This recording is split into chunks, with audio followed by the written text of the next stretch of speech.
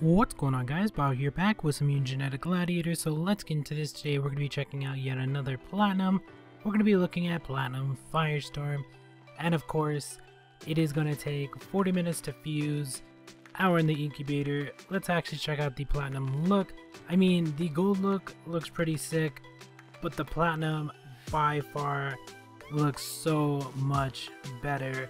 So let's actually check it out. So we got the gold, which is the regular flames and there is the platinum with the blue. Kind of reminds me of Phoenix for some reason. I have no idea why, but uh, yeah, let's actually check out its stats. 6.25 speed, so not the best, about in the middle. And then uh, Flamethrower is its first skill, Eruption is its second skill, which is a tri-attack. It is also a double mythic mutant, so Probably not going to use it, but it does look pretty sick, so I do recommend getting it for that reason. We do also have Curse as its ability. Let's actually check out its skills. There's the first skill, Flamethrower, which I actually like better than the Eruption, but up to you to decide. And then we have Research 7 as its bingo, if you guys are wondering where you need it for.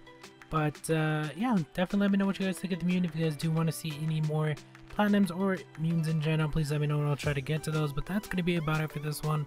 Thank you guys for watching. Hope you enjoyed and we'll talk to you guys later.